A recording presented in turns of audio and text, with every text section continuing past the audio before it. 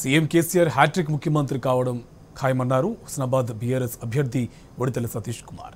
రేపు హుస్నాబాద్లో ముఖ్యమంత్రి కేసీఆర్ పర్యటన నేపథ్యంలో బహిరంగ సభ ఏర్పాట్లను ఆయన దగ్గరుండి పరిశీలించారు. హుస్నాబాద్ నుంచి గులాబీ బాస్ ఎన్నికల శంఖరావాన్ని పూరించడం అదృష్టంగా భావిస్తున్నట్లు ఎమ్మెల్యే సతీష్ చెప్పారు.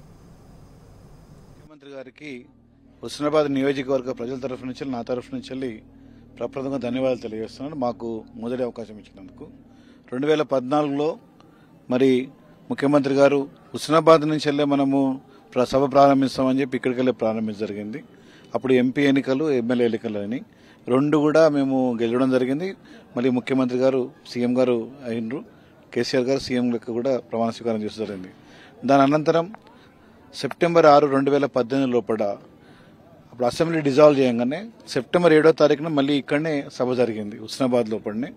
అప్పుడు కూడా ప్రజలు చాలా పెద్ద సంఖ్యలో పాల్గొని మాకందరూ కూడా ఆశీర్వాదం ఇవ్వడం జరిగింది. మళ్ళీ ముఖ్యమంత్రి గారు సీఎం గారు ముఖ్యమంత్రి లెక్క ప్రమాణ స్వీకారం చేయడం కూడా జరిగింది.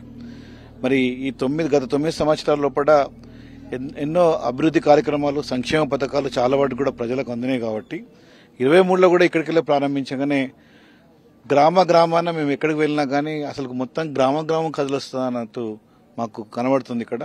చాలా గొప్పగా ఈ యొక్క బహిరంగ సభకు ప్రజలు తరలి వస్తున్నారు అసలు బండ్లు అనేవి మాకు ట్రాక్టర్లా లేకపోతే ఆటోలా లేకపోతే ఇంకేదైనా మాకు అర్థమవుతలేదు అట్లా మేము వస్తాం సార్ అని చెప్పంటారు చుట్టుపక్కల నాలుగైదు కిలోమీటర్లో ఉన్న ప్రజలు మాత్రం నడిసే వస్తాం సార్ మేము అని చెప్పి కూడా వాళ్ళు కూడా రావడం జరుగుతుంది. అసలు రియల్లీ అంటే మేము కూడా యాజ్ ఏ లీడర్ కూడా యాజ్ ఎమ్మెల్యే లేకుండా కూడా ముఖ్యమంత్రి గారు సభలో ఏం మాట్లాడతారు? మేనిఫెస్టో ఏం ఉండబోతున్నది వారు మాకు ఏమి సూచించబోతున్నారు? అభివృద్ధి గురించి కూడా ఇంకేం చెప్పబోతున్నారు అని చెప్పి ఒక ఆకాంక్షతోని ఇక్కడ ప్రజలు ఉన్నట్టు కనబడుతుంది మాకు.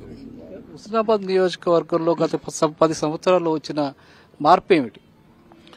ప్రప్రథమంగా రెండు వేల పద్నాలుగు అంటే తెలంగాణ రాకముందు ఈ ప్రాంతం అంతా కూడా కరువు పీడిత ప్రాంతం ఉండే అసలు మొత్తం కూడా. ఏ ఊరికి పోయినా ఎక్కడికి పోయినా కానీ అయితే చిన్నపిల్లలు కనబడేది లేకపోతే మిడిల్ ఏజ్ అంటే forty five fifty years above కనబడేది.